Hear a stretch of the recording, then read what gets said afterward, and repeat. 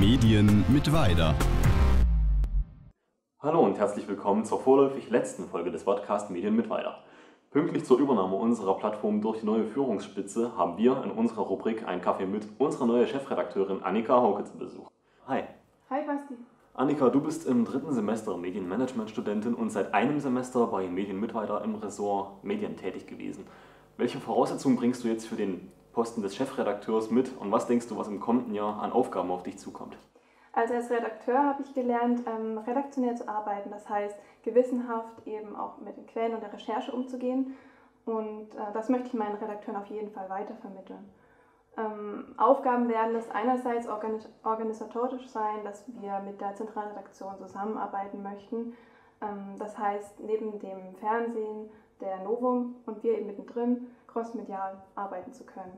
Und auf der persönlichen Ebene habe ich auch noch einige Aufgaben zu bewältigen, wie zum Beispiel Durchsetzungsvermögen zu zeigen, ähm, in Notfall auch einen klaren Kopf zu bewahren. Mit den neuen Leuten bei Medien mit weiter und der kompletten neuen Crew kommen mit Sicherheit auch einige neue Ziele und Ideen ins Spiel, vielleicht auch von dir. Kannst du uns für das kommende halbe Jahr einen kurzen Überblick geben? Also Ziel ist vor allem dieses crossmediale Arbeiten mit der Zentralredaktion. Ähm, das heißt, der Redakteur schreibt den Artikel und äh, die Fernsehproduktion dreht das sozusagen technisch ab. Ähm, der Redakteur hat aber auch die Freiheit, für jedes Ressort zu schreiben, das er möchte. Das heißt, neben dem Feature ist auch ähm, ein Treatment für den nächsten Dreh mit dabei. In deinem Lebenslauf steht jetzt zukünftig Chefredakteurin einer Online-Plattform. Das macht sich bestimmt gut. Willst du wirklich irgendwann in diese Richtung gehen oder was denkst du, wohin dich dein Weg führen wird? Also festgelegt habe ich mich da noch nicht.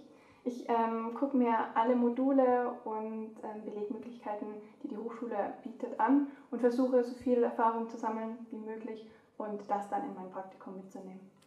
Danke Annika für das Gespräch. Das war's mit unserer vorläufig letzten Folge. Danke, dass ihr eingeschaltet habt. Vielleicht sehen wir uns dann bei einer anderen Gelegenheit irgendwo, man weiß es ja nicht. Bis dahin, macht's gut. Tschüss.